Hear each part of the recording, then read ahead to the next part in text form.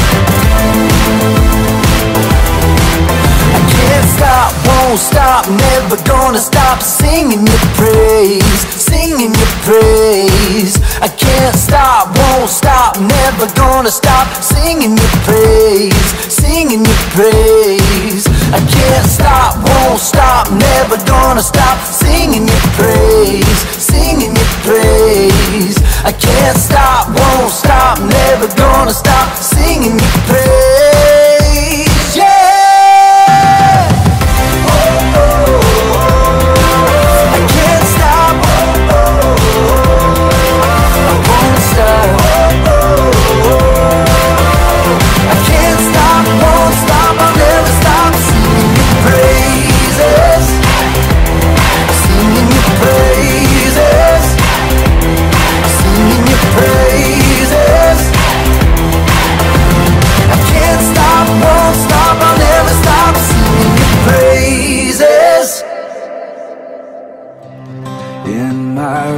In my doubts, in my failures, you won't walk out. Your great love will lead me through. You are the peace in my troubled sea. Whoa, you are the peace in my troubled sea. In the silence, you won't let go. In the questions, your truth will hold. Your great love will lead me through. You are the peace in my troubled sea. Whoa, you are the peace in my troubled sea. My lighthouse, my lighthouse, shining in the darkness. I will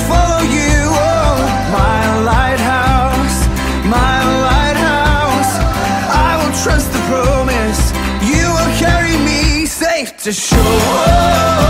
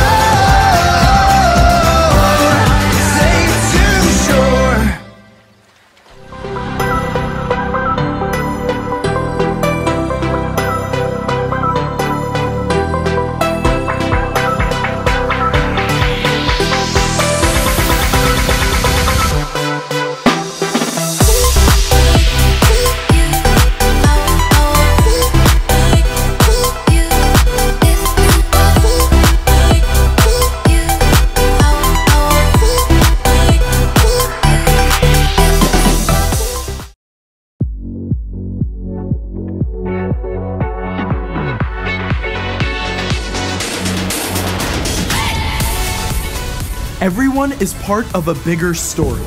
It's a bigger story than you can imagine. It's a big story about a really big God. Discover the story that shows you the character of God. Hey, I'm Caleb, and I'm so excited to invite you along as we explore my Bible. the Bible is an incredible collection of 66 books history, poetry, words of wisdom, personal letters, and eyewitness accounts. God inspired dozens of people over hundreds of years to record these words. In the Bible, we discover how God created an amazing world and made people in God's very own image. But people turned away from God and the world was broken. From the very beginning, though, God had a plan to bring us back into relationship, to wipe away the wrong things, the sins that we've all committed. God's forgiveness is an amazing, breathtaking gift. And I've got four Jesus stories that show us what true forgiveness looks like. We get started in the New Testament book of Luke. Here, Jesus is eating dinner with important religious leaders. Then a woman comes in and interrupts the meal to show her love for Jesus in a most unusual way. The religious leaders, though, are shocked, but Jesus flips the script to say that they should be more like her.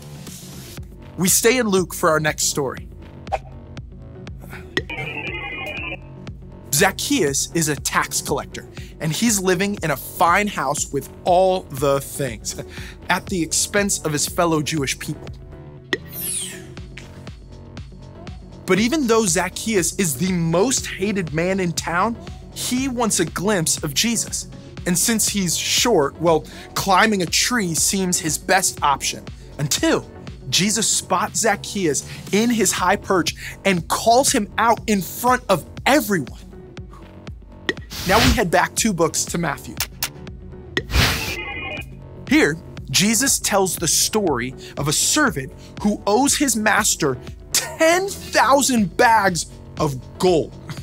What?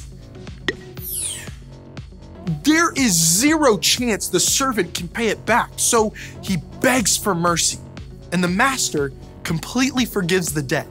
Zero dollars owed. The servant's overjoyed until he finds someone who owes him a few silver coins. That's an easy thing to forgive, right? You'd think. Back to Luke for our final story. We wrap up with another story from Jesus, who tells about a wealthy man and two sons. The younger son demands his share of his father's money right now. That's a huge insult, but the father gives him the money. The son heads out to live the high life with the best things money can buy until the cash runs out. Now he's hungry and alone in a foreign land. After all he's done, there's no way the son can go back home. Is there? God is ready and waiting to forgive you, no matter what you've done. And when you're forgiven, it's a lot easier to decide that someone who has wronged you doesn't have to pay. That's how forgiveness works. And I can't wait to see how it shows up in you and me.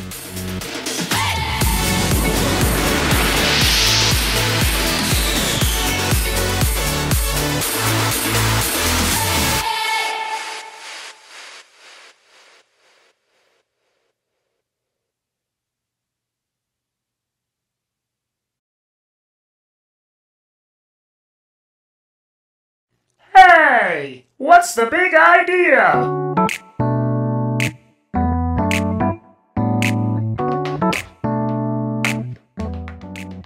Hey, what's the big idea?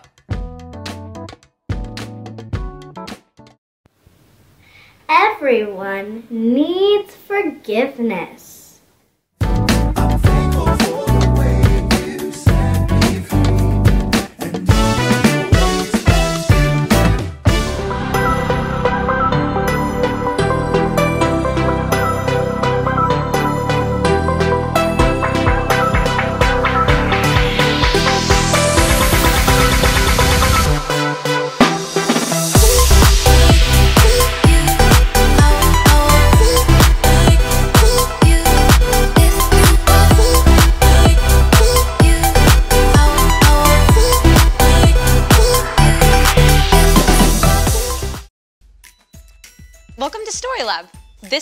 Talking about forgiveness. While we take a look at the story of someone who knew just where to go with her messy life.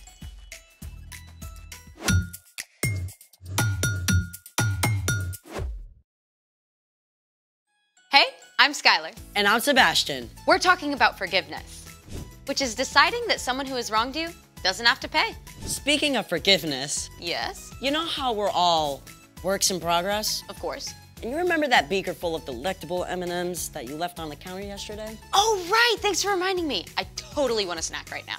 Yeah, about that. Wait, that's the beaker that the M&Ms were in? This in? is the beaker. Where are the M&Ms? You did not eat an entire beaker full of M&Ms. I was only gonna munch on a handful, but they kept calling to me.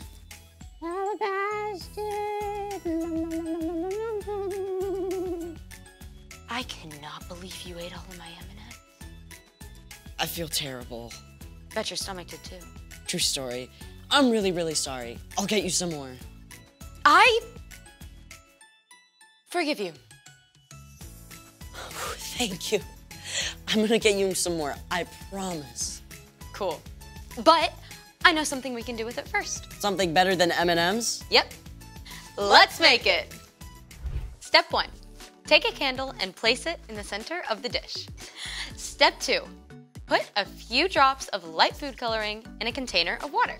Because around here, we love food coloring.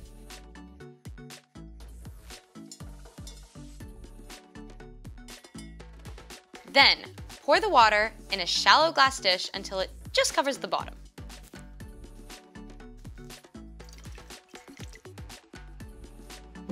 Step three, light the candle. Grown up alert, grown up alert. Yes, make sure you have a grown up present. Or you may accidentally do something that requires a lot of forgiveness. That was a little dramatic. Yeah. Step four, cover the candle with a glass beaker. A conveniently empty glass beaker. Then the final step is you're going to put a few drops of dark food coloring around the rim.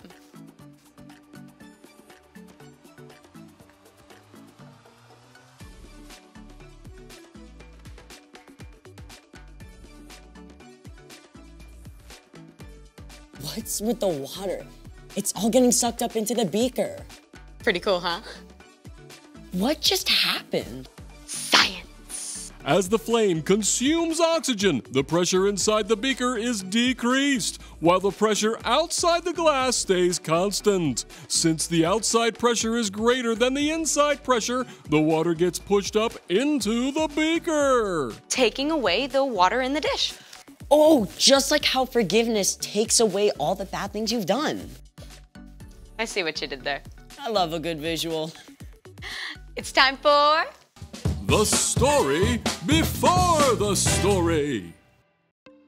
Today, we're in Luke, the third book in the New Testament. But before Luke, in the very beginning, out of a deep, deep love, God made an amazing world. But when people turned away from God, the world was broken. God made a plan to draw people back into relationship.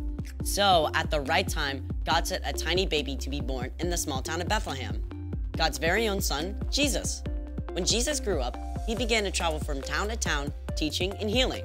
And while most people loved him, the religious leaders grumbled. That Jesus was changing the way they'd always done things. And they didn't like it. One bit. Which is where our story starts. Take it away. Hey everyone! I'm Chloe. Hi, Chloe. The religious leaders, some called Pharisees, were keeping a sharp eye on Jesus. They weren't completely sure about him yet. So, one of them, a man named Simon, invited Jesus to have dinner at his house. But even though Simon gave Jesus the honor of inviting him for dinner, Simon left out something important. See, at this time, everyone wore sandals, no socks. And when they walked the city streets, they got whatever was on those streets all over their feet. Use your imagination. Ugh. So, usually, when a guest came to your house, servants would wash their feet right away.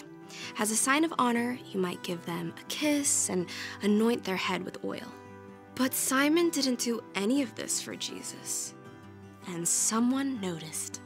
A woman from town had heard Jesus was going to be at Simon's home. She lived a difficult life and done many wrong things, but she knew that Jesus' love and mercy were greater than her sins. She desperately wanted to see Jesus, so she came to Simon's house and saw where Jesus sat at the table. Now, you've got to understand something about how people sat to eat at this time. Tables were low down, so you actually sat on the floor. In fact, you might even lie down on your side with your head over here by the table and your feet back over here behind you. The woman had bought an expensive container of perfume to pour on Jesus' feet as a sign of love and honor. She must have thought it was terrible that no one had offered to wash his feet and wanted to do it herself. But she didn't have water or a towel. So this woman actually used her own tears to wash Jesus' feet and wipe them with her hair. It seems strange to us, but it was an incredible sign of this woman's love and devotion. After washing Jesus' feet, the woman kissed them. Then she took the perfume she'd bought and poured it out over them. As the strong, sweet smell of perfume filled the room, Simon and the other guests watched the woman. They were shocked by what she was doing. Simon said to himself, If this man were a prophet, he would know who was touching him. He would know what kind of woman she is. She is a sinner. Simon thought this inside his own head, but Jesus knew exactly what Simon was thinking. So he told a story to help Simon understand. Simon, I have something to tell you. Tell me, teacher. Two people owed money to a certain lender. One owed him 500 silver coins. The other owed him 50 silver coins. Neither of them had the money to pay him back, so the lender let them go without paying. Which of them will love him more? The room was so quiet, you could hear a pin drop. At last, Simon spoke. I suppose the one who owed him the most money. You are right. Do you see this woman? I came into your house. You did not give me any water to wash my feet, but she wet my feet with her tears and wiped them with her hair. You did not give me a kiss, but this woman has not stopped kissing my feet since I came in. You did not put any olive oil on my head, but she has poured this perfume on my feet. Wow! Simon got called out! Simon had invited Jesus out of curiosity, but he hadn't shown him any love or respect. This woman's many sins have been forgiven. She has shown that she understands this by her great acts of love. But whoever has been forgiven only a little loves only little. Your sins are forgiven. um, excuse me. Who is this who even forgives sins? The other guests whispered and exclaimed in shock, but Jesus smiled at the woman with deep love in his eyes. Your faith has saved you. Go in peace. The room was filled with religious leaders who were quick to call the woman a sinner. But they didn't look at their own lives. They didn't see their pride and hard hearts needed forgiveness just as much as the things this woman had done. The end. I gotta be honest, all the feet washing and perfume stuff seems a little bit strange, but she was all in for Jesus. Exactly. She saw how much she needed Jesus. All the religious leaders missed it. They thought they had it all together. They didn't think they needed Jesus or his forgiveness. So, what's our part in this story? Jesus made it clear everyone needs forgiveness, not just the guy who robbed a bank or the school bully. All of us have done things wrong. We've all messed up. And those wrong things, big and small, have broken our relationship with God. They make us feel far away from God. We all need forgiveness. It's why God sent Jesus to be here on earth with us. Jesus showed us how to live. He's the only one who never sinned, and then Jesus laid down his life for us. When Jesus rose to life again, sin and death were defeated. When you choose to follow Jesus and ask God for forgiveness, God wipes away the wrong things that you've done. God looks at Jesus' perfect life instead of your sins and says that you don't have to pay for those sins anymore. That's the most amazing thing ever. So don't miss this. You've done wrong things. You need to be forgiven. But because of Jesus, God is ready and willing to forgive you and wipe away the wrong things you've done. Right this second. That's amazing. Enjoy. See you next time. Bye, Chloe. So here's the thing. Everyone needs forgiveness. Just like you forgave me for the M&Ms. Wow, thank you. Can I have a few? A few.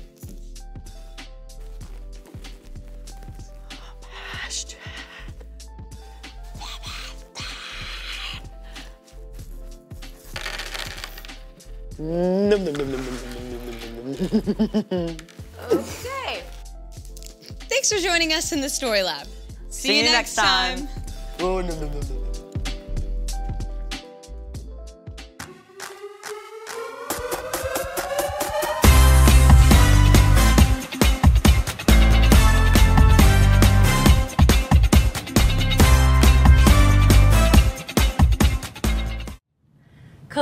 Colossians 3:13 Put up with one another. Forgive one another if you are holding something against someone. Forgive just as the Lord forgave you.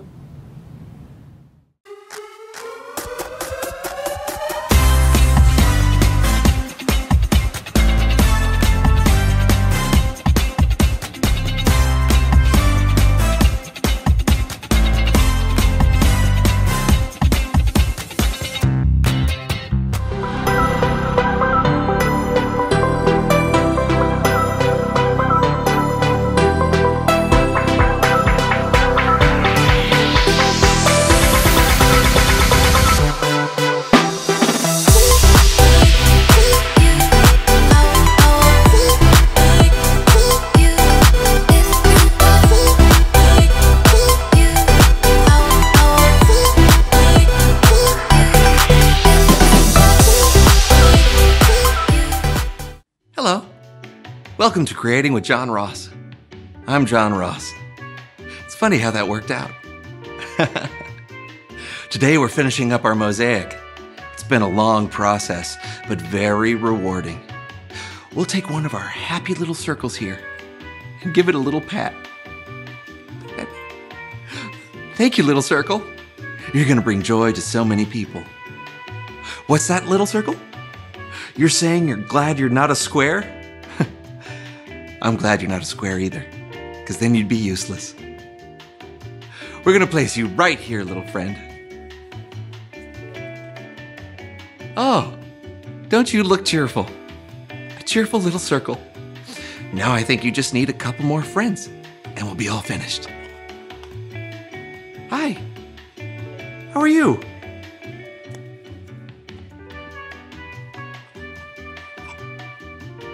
Oh, you're very round today.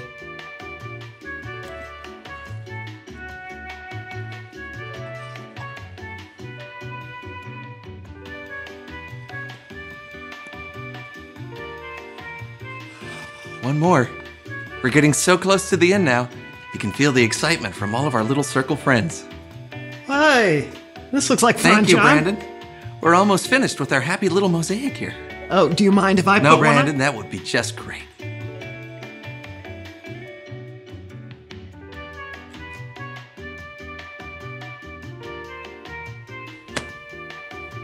There.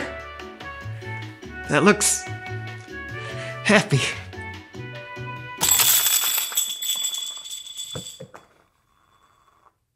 So happy.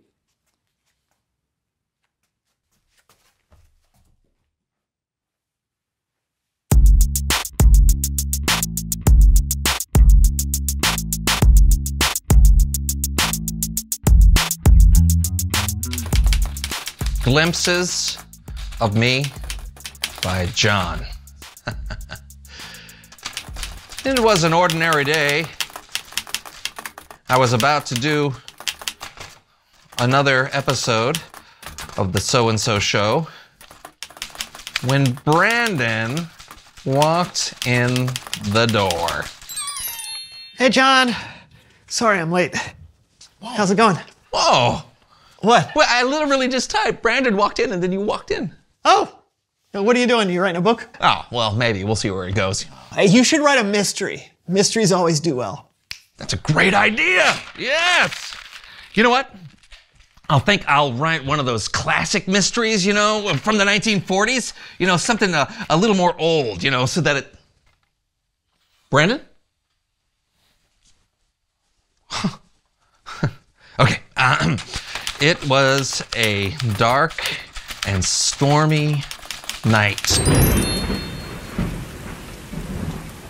Whoa. Brandon walked in through the door. Hiya, John. What's cracking? He took one step and tripped on a roller skate. What? What are you talking about? what? What in the world? Who put this there? Why, oughta. All right. Oh. Okay, let's try again. Uh, oh. Brandon walked in through the door holding a freshly baked cake. Hey, John. I baked you a cake. Mmm. There you go. Oh, thank you. Uh huh. Mm-hmm. Oh my goodness. Mmm. what kind of cake is that? It's coconut. Don't you like it? No. Thanks. Oh, man. Now what am I going to do with all this cake?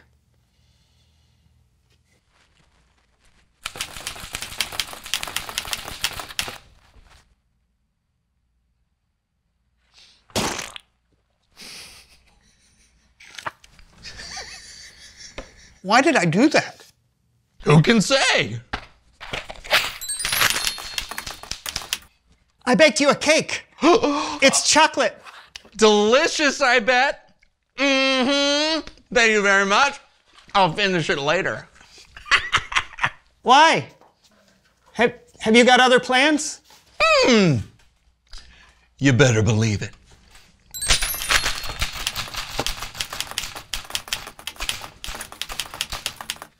I would do anything for John, like buy him chips and other oh. snacks. Yes, I would do anything for John, even dress up like a cat. Oh, yeah! Yeah. No. Meow. Yep, yep. we got you. Enough of that. I don't know about you, John, but I am exhausted, and I have no idea why.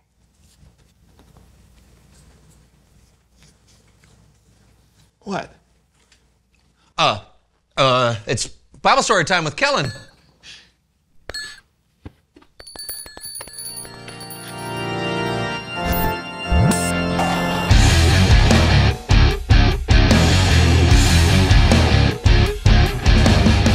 You guys have had an interesting day. Not really. Haven't done much. What have we done? You got a story for us today, Kellen? Of course. Seriously, I can't remember anything about this. Then show. take it away. You know, there's nothing like being given a do over, a fresh start, a clean slate, which is what today's Bible story is all about. It is a story about when Jesus was invited to have dinner at a home of a Pharisee named Simon. A Pharisee was an expert in God's law. They loved rules, which is great, but sometimes they thought that they were better than other people. But still, Simon invited Jesus, so Jesus went to dinner at Simon's house. Now, there was a woman in town who had lived a sinful life. She heard Jesus was close by, so she went to the house, found Jesus, and did something a little unusual. She started to clean Jesus' feet. Well, I'm pretty sure they did not have vacuum cleaners, but the woman did sit on the floor and clean Jesus' dirty, sandaled feet. And not with a bowl of water and a washcloth. She washed Jesus' feet with her own tears and dried them with her own hair. yep, you heard me right, with her own hair. And before you wonder if this was a common practice back then, it was not. She also kissed Jesus' feet and poured perfume on them. She was truly honored to be in the presence of Jesus. On the other hand, Simon was not okay with what he saw happening in his house. He said to himself, if Jesus really were a prophet, he'd know the woman touching him was a sinner. So, Jesus told Simon a story. A story about two different people who owed a man money.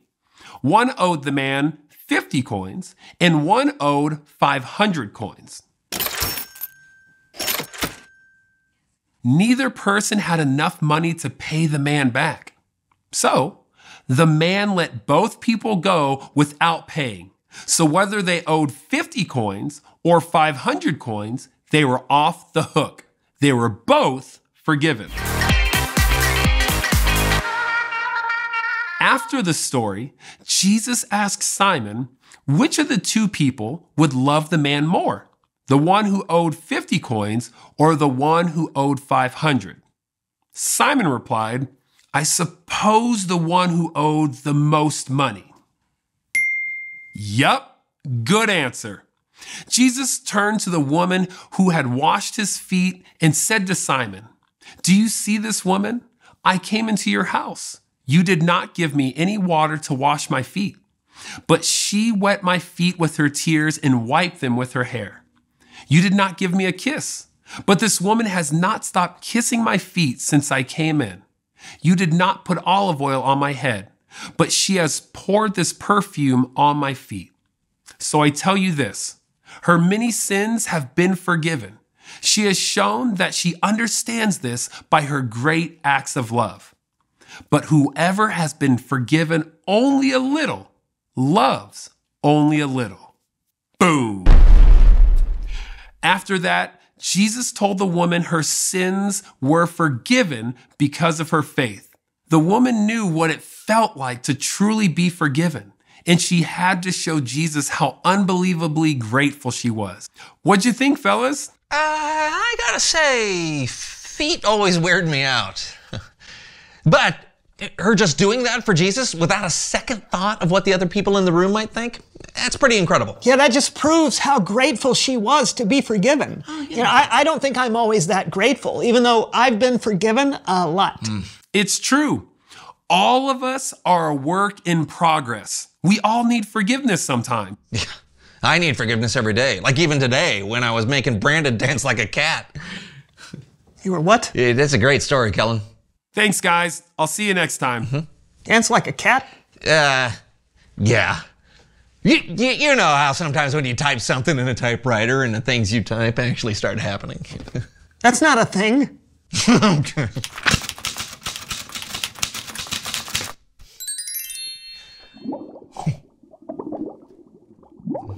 What? Reveal the question. Oh, hey, the question is what does it feel like to be forgiven? Let's find out.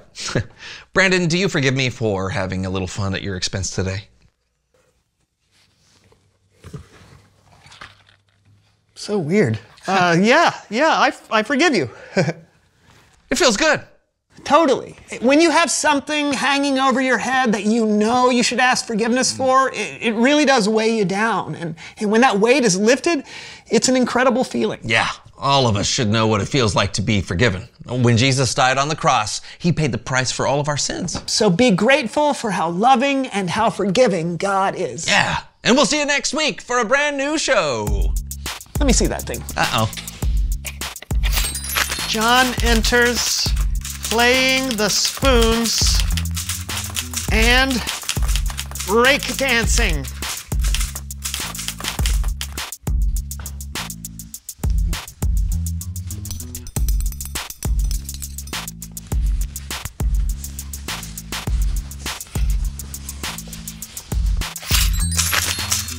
You can take my chips, but you can never take My talkies!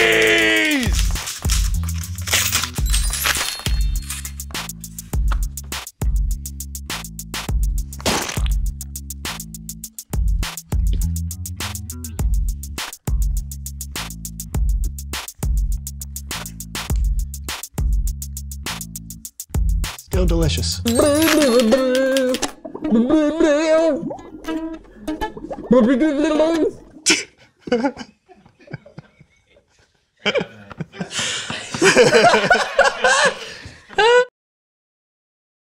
Hey, what's the big idea?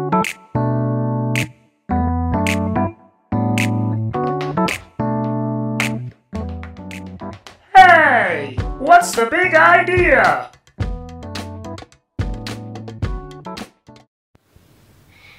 Everyone needs forgiveness.